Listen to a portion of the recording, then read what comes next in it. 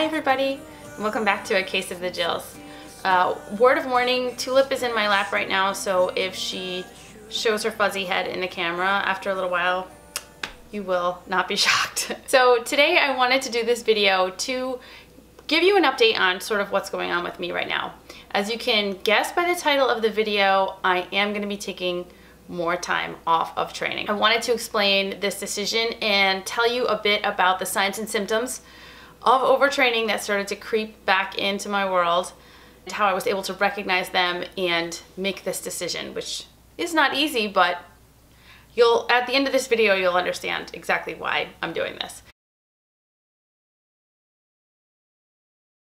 I decided to go visit a really good friend of mine in New York City and we are both ultra runners so of course you know it's not shocking that if you put two ultra runners in a room together they're going to find some race to run. So we did. Uh, we did this race that was in Staten Island on Saturday. It was called the Conference House Endurance Challenge. It was going to be a six hour. So this was kind of good for me. I was ready to do something a little bit longer. So I was looking to get in at least a marathon distance, I was telling myself. I did not know what the terrain was going to be like. I had no idea what any of it was going to be. So I want to tell you about the couple of weeks leading up to the race so that we can kind of see where I was at. I've been feeling really good, and if you've been following me, you know that I was about to get my sixth period.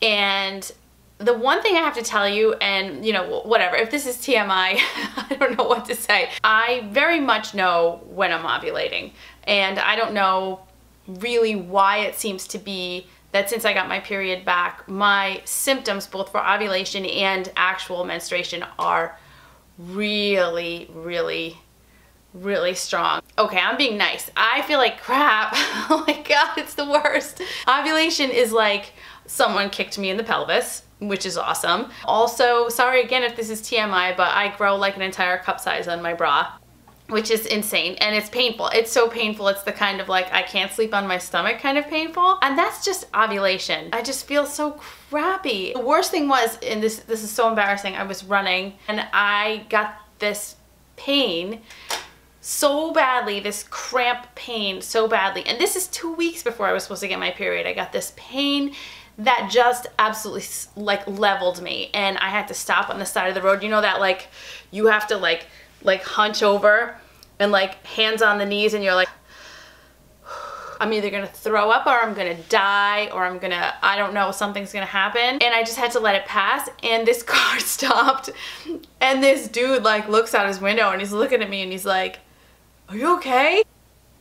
Yeah, I'm great. Just, you know, no problem. I'm good. I really wanted to yell out the window, my ovaries are exploding! But I decided not to freak him out. Um, anyway, so ridiculous. I don't know why it seems that the symptoms are really bad, again, since I got my period back, but I'm accepting it. And I was telling one of my friends this week, on some level, I feel that I kind of deserve it because I had no period for four and a half years. So I mean, what else do I expect? Needless to say, leading up into this race, it was really uncomfortable. Also, you know, I'm thinking to myself, oh man, I'm probably gonna have my period for this race, which is not the end of the world. And I have read Stacy Sims' book Roar, which I talk about all the time. I know from that book that right around the time that you get your period, those those days right like the right day right before and also the day of your period, your hormones have dropped at that point. From a performance standpoint, if you can get through the symptoms, you should probably be feeling pretty good. So I was like, okay, you know, I know the science. I know I can get through this if I can just deal with the symptoms, but I was still nervous about it. Okay, but let's talk about some of the overtraining symptoms that actually Yes, of course, Tulip has to drink water right while I'm shooting a video. Absolutely. Anyway, so let's talk about some of the overtraining symptoms that I started to experience in the weeks leading up to this race. I do not know if the symptoms really came on with a vengeance because I was in that high hormone phase or if the overtraining symptoms started to come back and it just happened to coincide with the high hormone phase and it made it worse. I really don't know. I do know, and Tulip knows, I do know that the symptoms were not just one or two days, it was happening for several days and over a couple of weeks. First thing, insomnia. And that tends to be the thing for me. I wake up in the middle of the night with that hunger, that really deep crushing hunger that I explained before, which just wakes me right up out of a dead sleep and it's always like 2:30, 3:30 in the morning. Eventually, it weighs on me. The lack of sleep really gets to me. I'm super sensitive to it now and I definitely started to feel fatigued and also nervous before I was going to bed because I was thinking to myself, my God, what can I do to make sure I don't wake up in the middle of the night? It, it really starts to rattle you and it's not a good feeling. So I started to notice more of those symptoms of hypoglycemia happening during the day too. I was getting really irritable in between meals. I was starting to feel that I was getting mood swings again. I was starting to get headaches or a little bit shaky and nervous. And you can ask my boyfriend. Um, I think definitely irritability was on the top of that list too. I was starting to get a little cranky pants.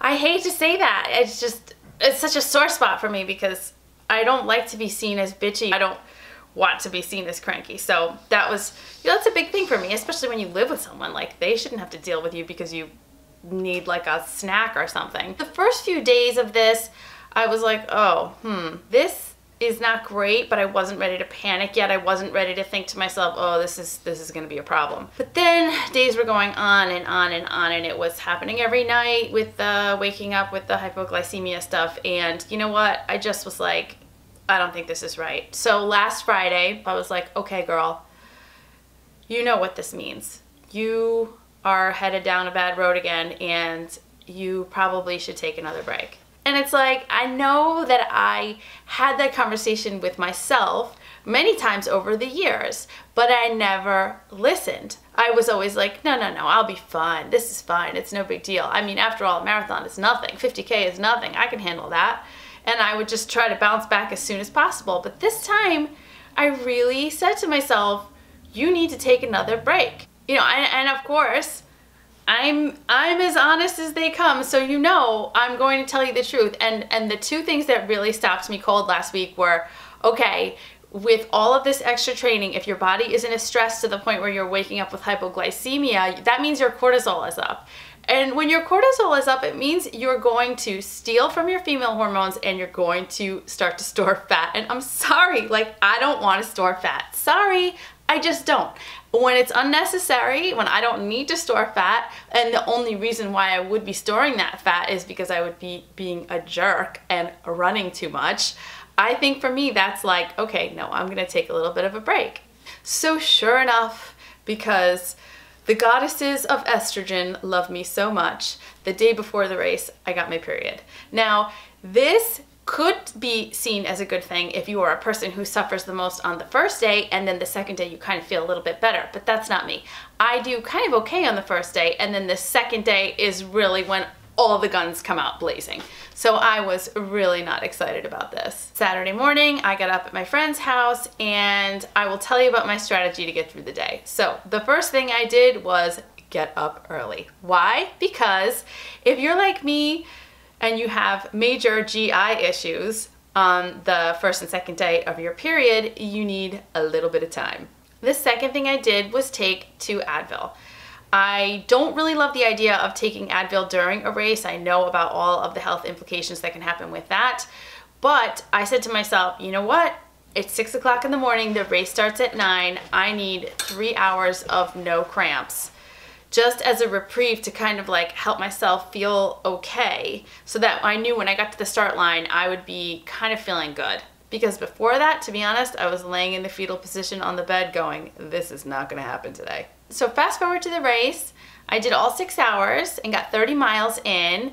I probably could have squeezed in the extra to make it a full 50K, and I think the old Jill would have tried to do that, but 15 laps was enough for me. And I got to run most of it with my really good friend, and we chit-chatted the whole way, so that really made it fun. I couldn't, I couldn't think about adding another mile to that moment because it just was unnecessary. The interesting thing about the period situation is that I did not have cramps the entire time during the race.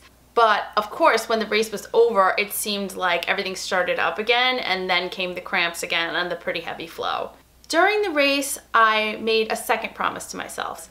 Okay, you are gonna take the next week to be good to yourself. That means you are going to sleep as much as you need to, not do any exercise, so not even any walking or gym or anything like that until you really feel like it, and you're going to eat and eat well until your body feels that it is on the road to recovery. This was really important for me because I used to think that a marathon was really nothing and that the recovery from it shouldn't really be a big deal either. So I would never, never honor myself with extra sleep and extra food and all this stuff. So I would typically run a marathon distance or even a 50K give myself that day and maybe the next day to eat a little extra. And then the day after that, I would be like, mm, back to normal, which for me meant kind of eating less. That was a major factor in my body's inability to recover properly because without enough calories, especially in the days after a hard effort like that, your body is not going to be able to recover as well as it would if it was adequately fueled. So I drove home from New York on Saturday night. I ate an entire bag of popcorn, a couple of protein bars, I don't know, anything that wasn't nailed down in the vehicle. I got home, I had a full dinner. On Sunday, I ate pretty much the entire house. On Monday, I was in that mode of if I didn't eat something every two hours, I felt like I was going to die. I took a two hour long nap on Monday. On Tuesday, I ate more, but I didn't have that I'm gonna pass out feeling. So I just kind of ate as much as my body wanted, but I didn't push it. On Tuesday, I took another two hour nap. So what did this teach me? It taught me that the endocrine system takes a lot longer to come back than probably even I thought. And what I did here was train myself up for a race and complete it and do great. And, you know, 50K is nothing to sneeze at. But I still think that my endocrine system is not fully on point. It's not rocking and rolling like it used to. And I think that I'm much more sensitive to heading down the road of overtraining much more readily than I would be if I hadn't gone through this. So I think of it like frostbite. If you never get frostbite, it takes you much longer to, to, to experience those frostbite symptoms. But if you have had frostbite before, it doesn't take much for you to start heading down the road of frostbite again. I feel like overtraining is a little bit like that in the sense that because I've already been there, it's, it's much easier for me to go back there. So I'm taking the next month off of any hard training. I don't have any reason to really be hardcore training right now, and I think this is a perfect time through the holidays to kind of chill out. My next race is April 2nd, and that race is in Italy. And so I really don't see any reason to kind of kill myself up until I get to Italy and we'll start training there. I think my strategy moving forward is going to be to choose one or two or three races a year and I'm going to ramp up to that race, take a significant amount of time off, weeks, a month if I need to, and then start training again. I think in the past I was not interested in doing that because yeah, sure, it's a pain to train up from nothing again, you know, couch to 50K in, you know, three months or whatever you want to call it. But I think that if I want to keep going in this sport, I'm going to have to do the right thing. And for me right now, that means taking care of my hormones, taking care of my body, and doing a race and then backing off. Because it's not how many ultras I do in a year or how many ultras I do in a lifetime. It's for me the fact that I can continue to be active in this sport. And by the way, being active in this sport doesn't mean that I need to constantly be running. If I have a race that's six months from now and I decide I don't want to train until two months from now, that doesn't make me less of a runner. It doesn't make me less of an ultra runner. I don't have to blow my brains out every weekend in order for me to feel a part of this community. And that's something I need to work on. This whole experience of training up for this race and now needing to take more time off is a very, very good lesson for me. In order for me to continue to participate in this sport, I need to understand that more is not better, it's just more. And the time that I take to rest and repair my body is just as good, if not better, than the time that I spend actively out there running on the trails. I'm saying all of this to you like I really am sure and I know what I'm talking about and I'm looking directly into the camera and I'm like, yes, this is the thing. But this is me telling myself. It's not me telling you. I, I hope that you can see that. I'm just trying to convince myself that this is the right thing. No, I'm kidding. I know this is the right thing. It feels good. It feels right. And it feels like the right thing to do for me. I can't tell you what the right thing to do is for you, but hopefully in me sharing all of this, it gives you a little more courage to slow down when you hear your body asking for you to slow down or take time off when you feel that little voice in your head is kind of telling you uh, maybe we should take some time off. Take the time off. When your body says, I think I need an extra day of some extra calories, maybe you'll listen. And I know that I'm trying to listen. I hope that this was helpful today in me sharing my story about this race and about taking more time off and what that means. Please comment below if you have any questions or if you want to share your story as well. Please don't hesitate to share this video with some of your friends if you think they would benefit as well. And please become a subscriber to A Case of the Jills. That way you don't miss any of my videos and I would so, so, so appreciate it. Thank you so much for watching.